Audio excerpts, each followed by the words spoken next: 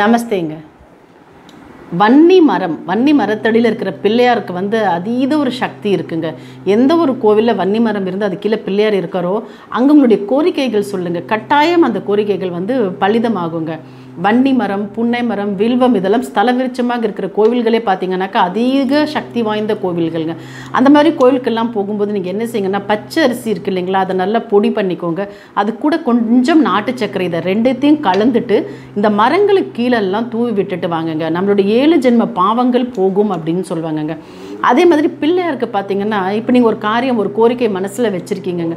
எள்ளுருண்டை உங்களால் பண்ண முடிந்தால் ரொம்ப விசேஷம் அல்லது ஒரு எள்ளுருண்டை பாக்கெட் வச்சுட்டு டெய்லியுமே ஒரு இருபத்தி ஒரு நாளுக்கு ரெண்டு ரெண்டு எள்ளுருண்டை மட்டும் அவருக்கு நைவேத்தியம் பண்ணிவிட்டு தீபம் ஏற்றிட்டு வந்தீங்கன்னாக்கா உங்களுடைய பிரார்த்தனைகள் வந்துட்டு பலிதமாகும்.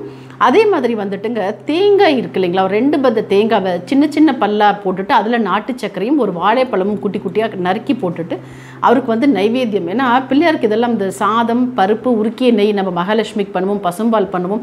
பிள்ளையாருக்கு வந்து இந்த எள்ளு உருண்டையும் இந்த வாழைப்பழம் இந்த பழம் சின்ன சின்னதாக கட் பண்ணி போட்டுட்டு தேங்காய் நாட்டு சர்க்கரை கலந்து இந்த நைவேத்தியம் வச்சிங்கனாக்கா நம்முடைய கோரிக்கைகள் எல்லாமே பலிதமாகுங்க.